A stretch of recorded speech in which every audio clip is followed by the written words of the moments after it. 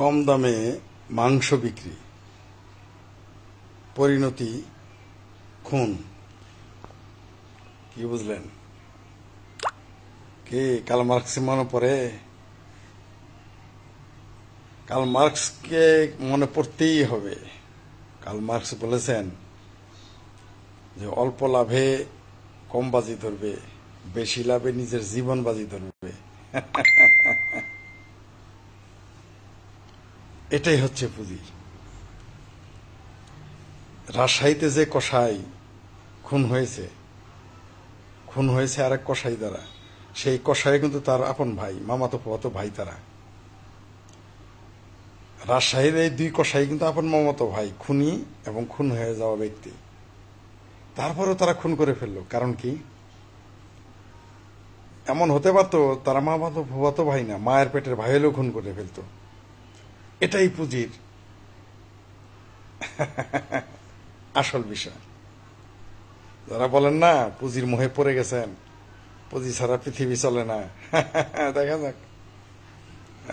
দুশো বছর, তিনশো বছর পর আপনিও বেঁচে থাকবেন, আমিও বেঁচে থাকব না। এই পুঁজির মোহে মানুষ সন্তানকে মেরে ফেলে, ভাইকে মেরে ফেলে পিতা পুত্রকে মেরে ফেলে পুত্র পিতাকে মেরে ফেলে, অর্থের কারণে। এখন বলবেন, পিতা কীভাবে পুত্রকে মেরে ফেলল? আমি অনেক পুত্রকে চিনি, তারা চিকিৎসা করে নাই।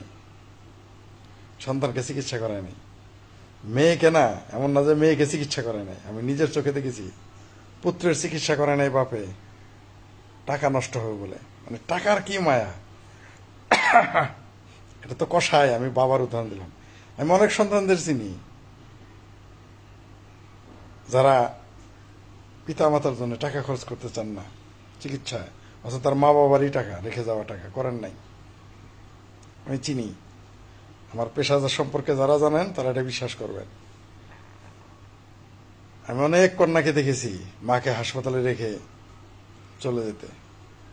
আমি অনেক পুত্রকে দেখেছি পিতাকে হাসপাতালে বেড়ে রেখে চলে যেতে। ওটা রাখলাম। ওই বিষয়ে যাচ্ছে না। কসাইদের বিষয়েই থাকি। রাজশাহীতে গরুর মাংস সাতশো টাকার জায়গায়, সাতশো টাকার জায়গায় ছয়শো পঞ্চাশ টাকা বিক্রি করল। এটাই তার অপরাধ। ঠিক এভাবে বিশ্ব রাজনীতি চলে। যেমন ধরেন, এখন যদি কেউ কম দামে তেল বিক্রি করে, পরাশক্তিরা তারপর হামলা চালাবে। ধরেন, কেউ যদি এখন কম দামে খাদ্য বিক্রি করে, পরাশক্তি তারপর হামলা চালাবে। ধরেন, বাংলাদেশে কোনো এমপি হান্ড্রেড পার্সেন্ট জনগণের চাহিদা মোতাবেক যদি কাজ করে, সেই এমপি বেঁচে থাকতে পারবে না। বিশ্বাস হয় না? অপেক্ষা করেন। ব্যারিস্টার সুমনের কি পরিণতি হয় অপেক্ষা করেন? যদি সে জনগণের পক্ষে কাজ করে। দেখতেন, আর যদি ভণ্ডামি করে, বদমাইশি করে, জালিয়াতি করে, এবং মানে গড্ডালিকা প্রবাহে ভেসে যায়, তাদের মতো হয়ে যায়, তাহলে ব্যারিস্টার সুমন টিকবে নইলে টিকবে না। দেখতে পারবেন আমার ভবিষ্যৎবাণী সে যদি টিকে, তাহলে নিশ্চিত থাকেন, সে আপোষ করেছে, ভণ্ডামি করেছে, নিশ্চিত থাকতে পারবেন। সে নিজেই চলে, আমি বলছি না যে তাকে তাড়িয়ে দেওয়া হবে, সে নিজেই চলে যাবে। ব্যারিস্টার সুমন এই দেশ ছেড়ে চলে যাবে। যেতে বাধ্য হবে, চলে যাবে না, যেতে বাধ্য হবে। যা বলছিলাম, এটাই পুঁজির চেহারা। এটাই পুঁজির আসল চেহারা। যে পঞ্চাশ টাকা কম কেন বিক্রি করল গরুর মাংস? তার জন্যই তাকে মেরে ফেলল তার ভাই।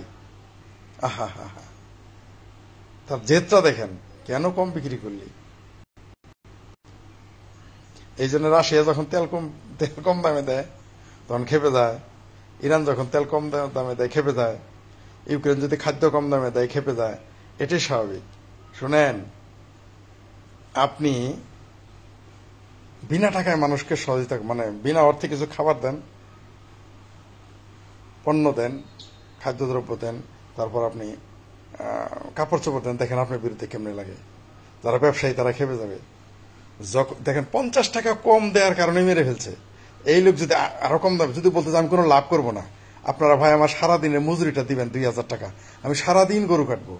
তাহলে দেখবেন আরও তাড়াতাড়ি মেরে ফেলতো। তেমনি আমি বলেছি, বিজ্ঞানকে ঠিক এইভাবেই তার কাজ করতে দেওয়া হয় না। কত বিজ্ঞানী মারা গেছে জানেন সারা পৃথিবীতে? স্বামী বিবেকানন্দও কিন্তু বিজ্ঞানী ছিল না। তাকেও কেন মেরে ফেলা হয়েছে? ইতিহাস খুঁজেন। ভারতের অনেক পরমাণু বিজ্ঞানী মেরে ফেলা হয়েছে। ইতিহাস খুঁজেন কেন মারা গেল? আরও কা- পারমাণবিক বিজ্ঞানী মারা যাচ্ছে, কেন মারা যায়? কি কারণে মারা যায়? অন্যান্য দেশেও মারা যায়। কেন মারা যায়? বাংলাদেশেও অনেক আবিষ্কার গায়েব করে দেওয়া হয়। শুধু বাংলাদেশে না, সারা পৃথিবীতেই অনেক আবিষ্কার পুঁজিবাদেরাই গায়েব করে দেয়। কারণ সাধারণ মানুষের যখন কল্যাণ হবে, টাকা কমে যাবে, দাম কমে যাবে, ভয় পেয়ে যায় তারা। আপনাদের একটা কথা বলি, আমাদের প্রাইম মিনিস্টার বলেছিলেন, দশ টাকা কেজি চাউল খাওয়াবেন। আপনি বিশ্বাস করেন, আমি তখন ধরে নিয়েছিলাম, আমাদের প্রাইম মিনিস্টার ক্ষমতা থাকতে পারবেন না। তিনি যদি সত্যি দশ টাকা কেজি চাউল খাওয়ানো শুরু করতেন, তিনি ক্ষমতা থাকতে পারতেন না। এটা বিশ্বাস হয় না আপনাদের? সেই জন্যই তিনি দেন নাই। তিনি জানেন তিনি বুঝতে পারছিলেন আমি যদি দশ টাকা কেজি চাউল খাই, আমার ক্ষমতায় থাকা যাবে না। কিন্তু উল্টা হওয়ার কথা ছিল, দশ টাকা কেজি চাউল দিলে, খাওয়ালে পাবলিককে পাবলিককে তাকে ভোটের বন্যা বয়ে দেওয়ার কথা, যে না, ভয়াবহ পরিণতি হতো। আপনি যখন জনগণকে তার অধিকারগুলো দিবেন, ওই নেতাকে টিকতে দিবে না। এখন বলবেন যে পঞ্চাশ টাকার মাংসের মধ্যে এই সমস্ত কথা জি, আপনি এখানে চরিত্র নির্ধারণ করেন। মানুষের, এটা মানুষের চরিত্র, এটা পুঁজির চরিত্র। এই এই কাজিন মামাতো ভাই ফতো ভাইকে খুন করে ফেলল পঞ্চাশ টাকার জন্য। এটা কি কারণে মেরেছে? পুঁজির দ্বন্দ্ব। তার সাথে অন্য কিছুর দ্বন্দ্ব ছিল না। কেন হত্যা করবে? কি কারণে হত্যা করবে? পঞ্চাশ টাকা কম বেচে, ব্যবসা লস হচ্ছে। আপনি যান। আপনি কোনো দেশ যদি, এই যে কিউবা, সারা পৃথিবীতে তার ওষুধ বিক্রি পলিসি জানেন, তার উপ- উপর এত অবরোধ কেন? তারপর সে দেখবেন যে দরিদ্র দেশে ওষুধের দাম কম, ধনী দেশে ওষুধের দাম বেশি। এই জন্য কিউবাকে খোলা মাঠে ছাড়া হয় না। কারণ কিউবাকে যদি খোলা মাঠে ছাড়া হয়, পৃথিবীতে মেডিকেল ব্যবসা ধস নেওয়া যাবে। বুঝতে পারছেন কিউবাকে শুধু অবরোধ তুলে দেন কিউবার কিউবার উপর থেকে অবরোধ তুলে দেন। দেখেন পৃথিবীতে মেডিকেল এই যে তথাকথিত মেডিকেল ব্যবসার ধস নামবে। সারা পৃথিবীতে ওষুধ অনেক সস্তায় পাওয়া যাবে। সারা পৃথিবীতে ডাক্তার, নার্স পৌঁছে যাবে। তাই কিউবাকে অবরোধ দেওয়া হয়েছে। কিউবাকে শুধু সমাজতন্ত্র ঠেকানো, সমাজতন্ত্রের বিরুদ্ধে তো রাগ কেন? সমাজতন্ত্রের বিরুদ্ধে রাগ হচ্ছে যে তারা জনগণকে কম শোষণ করবে, যতটুকু বেশি দেওয়া যায়। সেই জন্য সমাজতন্ত্রকে আসতে দেওয়া হয় না। তাই সমাজতন্ত্রকে প্রথমেই লাগানো হয়েছে ধর্ম দিয়ে, যাতে সমাজতন্ত্র প্রতিষ্ঠিত না হয়। এবং উচ্চশিক্ষিতরাও বলে যে সমাজতন্ত্র সমাজতন্ত্র দরকার নাই। যেটা আর কোনদিন প্রতিষ্ঠা হবে না। এইভাবেই তারা কাজ করে ফেলছে। এই সমাজ মানুষ যাতে তার অধিকার না পায় ইভেন মানুষ যাতে তথ্য না পায়, সেই জন্য সকল আয়োজন করে রাখা হয়। তাকে তথ্য দেওয়া হবে না। আপনি দেখেন, আপনি বাংলাদেশের উদাহরণ দেন। বাংলাদেশে যদি সবাইকে জিজ্ঞেস করেন, বাংলাদেশ সরকারের কোথায় লেখা আছে? বেকার সংখ্যা কত? ভূমিহীনের সংখ্যা কত? চাকরিজীবীর সংখ্যা কত? চাকরিজীবী, সরকারি চাকরিজীবীর সংখ্যাটাই পাবেন, আর কোনোটাই পাবেন না। কেন পাবেন না? কি কারণে পাবেন না? জানা আপনি, আমি বহু চেষ্টা করছি। বহু জায়গায়। বেকার সংখ্যা কত কোথাও লিখে দেয় না। ভূমিহীনের সংখ্যা কত বলে না? কত মানুষের ঘর বাড়ি নাই তা বলে না। তেমনি এটাই আবারও বলি, এই রাজশাহীর, এই কষাই খুনো খুনিতে পঞ্চাশ টাকার বিষয় না, বিষয় হলো পুঁজি। পঞ্চাশের জায়গায় পাঁচ কোটি হলে কি করবে? পঞ্চাশ কোটি হলে কি করবে? পাঁচশো কোটি হলে কি করবে? পাঁচ হাজার কোটি হলে কি করবে? পঞ্চাশ হাজার কোটি হলে কি করবে? পাঁচ লাখ কোটি কেন বুঝে নেন। পাঁচ লাখ কোটি টাকার যখন বিজনেস হবে, তখন তো লাখো লাখো মানুষকে বোমা হামলা মেরে করে হত্যা করতে কেউ চিন্তা ভাবনা করবে না, করছেও না, করবেও না। সব ক্ষমতার দ্বন্দ্ব দেখেন না? এগুলো আসলে পুঁজির দ্বন্দ্ব। ক্ষমতা টমতা কিছুই না। পুঁজির দ্বন্দ্ব এগুলো। এগুলো পুঁজির দ্বন্দ্ব। এই দ্বন্দ্বে যখন বাজি তো নিজের জীবন মানুষ দাও পে লাগায়। বুঝতে পারছেন? নিজের জীবনকে বাজি ধরে। পুঁজির সুফল পাইছেন তো? দেখলেন তো? পঞ্চাশ টাকা মানুষ কম বিক্রি করতে পারবেন না। বিক্রি করেন? আমি আমি হোটেল করব। এর আগে আরেকজন কম টাকায় গরু মাংস বেচতো। তারা কি হুমকি ধামকি দেখলেন না? তার বিরুদ্ধে কত অভিযোগ? আমরা, আমার এই এক্সপিরিয়েন্স আছে। আমি জমি বিক্রি করে লাইব্রেরি করছিলাম। মানুষ আমাকে কি বলছে আমি জানি। বুঝতে পারছেন? আমি যখন মানুষকে মানে বিশুদ্ধ চিনি খাওয়ানোর চেষ্টা করছি, সরকারি মিল থেকে কিনে এনে, আমার সম্পর্কে মানুষ কি বলতে জানেন? আমার জানা আছে। দিত না, বিক্রি করতে দিত না। আমাকে উচ্ছেদ করে দিত। শেষে কি বলছে জানেন? যে ও নাস্তিক, যাতে আমার কাছে চিনি না নেয়। মানে বিজনেসে আপনি আপনি যান আপনি কালকে, আমি একবার খাদ্য দেওয়ার পরিকল্পনা করছিলাম আমার এলাকায়, বিনামূল্যে। আমাকে কি বলছিল জানেন? পেট খারাপ হলে তো অনেক মামলা করবে। আমার এক বড় বলছিল, ফরিদের মধ্যে যাও না, বিপদে পড়বা। এটাই সত্য। আপনি চাইলেও পারবেন না, স্টেট পারে না, খোদ রাষ্ট্র পারে না। আপনি দেখেন টিসিবি চালু করুক। টিসিবি পূর্ণদমে চললে, এই ব্যবসায়ী সিন্ডিকেট থাকবে থাকবে না। কিন্তু যখনই টিসিবি চালু করেন সরকারই থাকবে না। বাংলাদেশে যে সরকার আছে না, এত শক্তিশালী মনে করতেছেন? যাকে ভারত টিকিয়ে রাখছে, বলেন আপনারা। হ্যাঁ? টিসিবি চালু করেন। ভারতের আব্বাও এই সরকার বাংলাদেশ সরকার টিকে রাখতে পারবে না। টিসিবির প্রকৃত টিসিবি যে কারণে তৈরি হয়েছে, যে কারণে বাংলাদেশে গভর্নমেন্ট টিসিবি বানাইছে, সেই টিসিবিকে স্বাধীনতা দেন এই সরকার।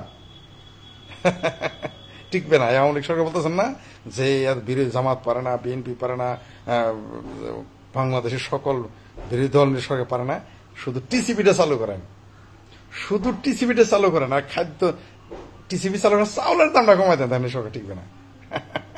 আসলে উল্টা হওয়ার কথা ছিল না যে টিসিবি চালু করলে এই সরকার আরও স্থায়ী হবে? টিসিবি চালু করলে এই সরকার মানুষ আরও প্রশংসা করবেন নো, করবে না। চালুর দাম দশ টাকা করলে প্রাইম মিনিস্টার ক্ষমতা থাকতে পারবে না। কিন্তু সরকার চাইলে খাওয়াতে পারে, পারবে। সরকার চাইলে সব হয়। সরকার চাইলে আপনাকে দশ টাকার জিনিস একশো টাকা খেতে আপনার বাধ্য। সরকার যদি চায়, একশো টাকার জিনিস আপনাকে দশ টাকা হইতে পারে। এটা পৃথিবীর যে কোনো সরকার পারে, যে কোনো সময় পারে, যে কোনো অবস্থাতেই পারে। মনে রাখবেন, কেউ যদি বলে অমুক জায়গায় বাড়ছে তোমার মিথ্যা কথা গেল। ডাহা মিথ্যা কথা। ওই যে যারা বিদেশে থাকে বলে না, ভাই, আমেরিকা তোরে কেমনে নিমু? নেওয়া জানা আইন খুব করা। ভাই, কেমনে নিমু তোরে? কানাডা এটা খুব করা।